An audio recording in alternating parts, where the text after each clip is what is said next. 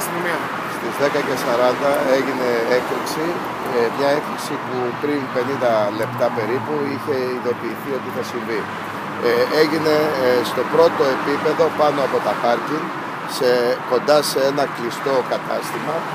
Ευτυχώς τα 200 άτομα που περίπου βρισκόντουσαν εκείνη τη στιγμή στο πολυκατάστημα αυτό είχε, είχαν απομακρυνθεί εκτός από λίγους όπου μεταξύ αυτών ήταν και η security Τραυματίστηκαν δύο, αλλά όχι βαριά, πολύ ελαφριά και μεταφέρθηκαν στο κάτω.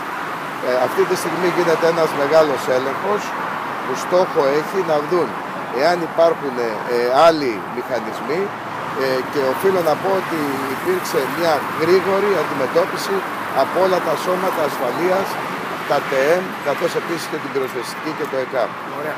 Ε, η βόμβα ήταν τοποθετημένη κοντά σε υποκατάστημα τράπεζας που υπάρχει μέσα. Έχετε αυτή την πληροφόρηση. Ε, αυτή η πληροφόρηση που υπάρχει είναι ότι ήταν σε καταστήματα με, κοντά σε ένα κλειστό κατάστημα, δεν ήταν στα πάρκι και ευτυχώς υπήρξε άμεση αντιμετώπιση απομάκρυσης του κόσμου που βρισκόταν μέσα.